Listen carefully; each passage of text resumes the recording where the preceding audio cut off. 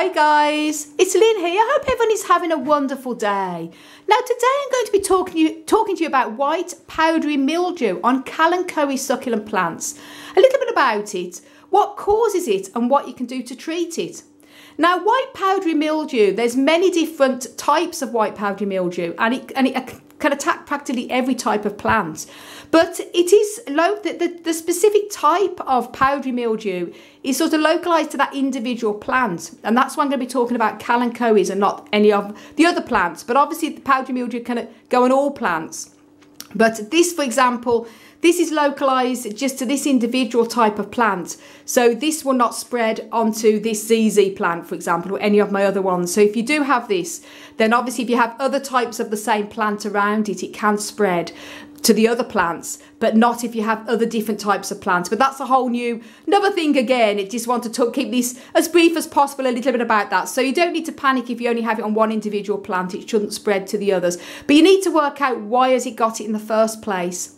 Now, the good news about this particular white powdery mildew is it's unlikely to kill a plant Obviously it looks very unsightly as you can see here. And if I didn't treat it, it could spread across it and the plant would struggle to get photosynthesis and the light. And that could very much weaken the plant. But as long as you treat it, it can stop it in its tracks. And what it is, I said, there's many different strain, many different types of this white powdery mildew, and uh, the reason why what it happens is often down to quite a few different things which we're going to talk about now.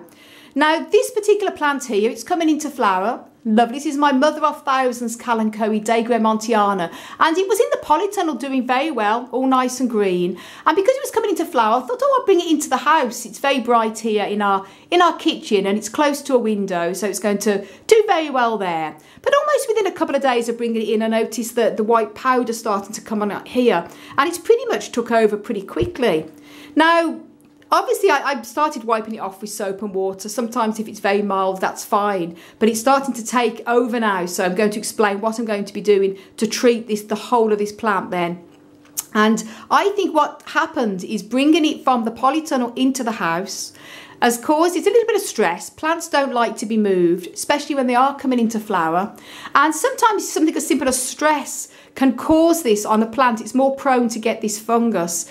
So that's a big reason why sometimes the stress stress of moving plants about. And it seems to be a very common type of fungus at this time of year in the autumn, fall and winter time when you have probably a lot more, you have the heating on, too much heat, too much humidity and lack of air ventilation can all cause this. Overwatering, plants kept in too much damp soil can encourage this as well with the leaves. Overhead watering, if you're spraying plants, I don't spray this one at all overhead watering, but if you do, that can also encourage it. Leaves being kept too damp and things like that. But it's it's one size doesn't really fit all because it can be too much dry air, too too much damp air, lack of ventilation, stress to the plant, and over, over fertilizing can cause that weak growth and then they're more prone to get this as well. So as I say, it's often down to a lot of things down to the environment being kept too warm and too dry and too cold.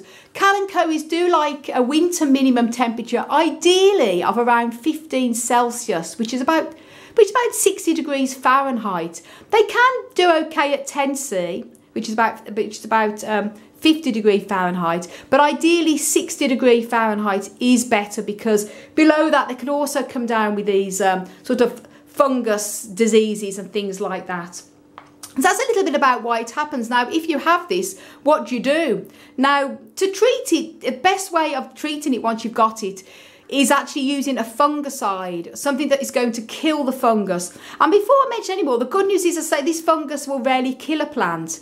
And uh, it is very different to other type of um, mold, for example, that you sometimes see on plants. And you get the mold, the white mold that appears on the surface of the soil, and that's nearly always harmless and even beneficial to the soil because it contains um, good uh, microbes. And I've made a video on white mold on uh, on houseplant soil and is it harmless and a little bit about it. So do check that video out. Links up above and down below if you have white mold or the very pale sort of yellowy green mold on your soil. Um, I say it's different to algae and things like that, but molds is a is a big topic altogether. But this one is, I say, just down to this white powdery mildew. And uh, the best thing to do is obviously to treat it with a fungicide. There's two different ways of dealing with it. One is the complete natural method, which is using uh, neem oil. And you can either spray the whole plant with neem oil or make a solution up in a dish and uh, gently um, either wipe all the leaves or possibly brush on the, the neem oil over the leaves, cover the whole entire plant. Normally I'd spray plants with uh, neem oil. It's a great fungicide.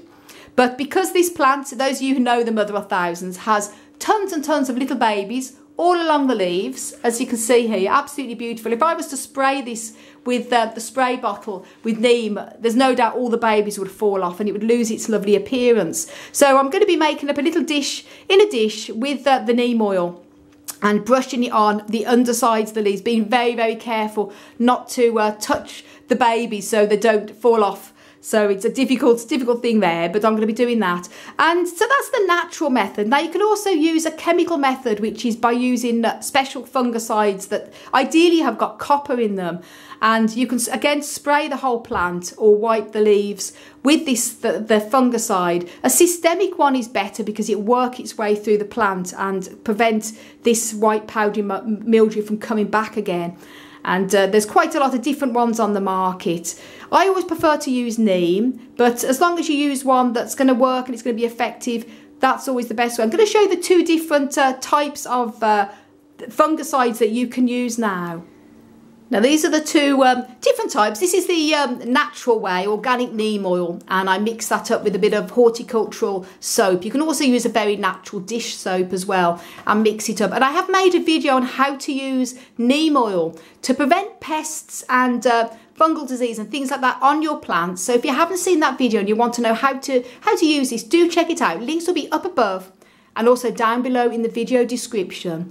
And then this is the chemical method. I prefer to always use this, but I always sometimes have to use this if that doesn't always is, is effective or it's a, if it's a very severe infection. But I find neem oil is very good, I have to say. This is what I used to use before I used the neem. And this one is, this, this brand is called Rose Clear Ultra, but it's a fungicide. Again, it's a systemic one, so you spray the plant with it and it works through the leaves and prevents it from coming back. And the neem oil is very good, but you do have have to sort of repeat it. So when I use this the first time, I'm going to have to leave it about three days and then do it again and then probably another three days again to make sure completely kill all of the fungus. But these are the options and uh, if you have this on your kalanchoe plants, then you'll know that how to treat it and also what to do to prevent it coming back again. As I say, in this case, I think plenty of ventilation. It's probably, you know, coming in from the polytunnel into here, it's probably been a little bit of stress for it. It's doing okay. Now it's coming into, into flower, or bud I should say.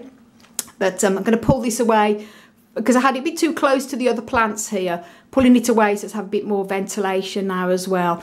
And uh, treat it and see how it goes. I hope you found this video useful, guys. And if you want to know lots more um, info on how to care for and grow cacti succulents, please do subscribe to my channel for lots of care videos. And also check out my website for lots of care and infos on growing cacti succulents on there, desertplantsofavalon.com. And I want to send you loads of love, heaps of happiness, and tons and tons of plant power from across the Emerald Isle.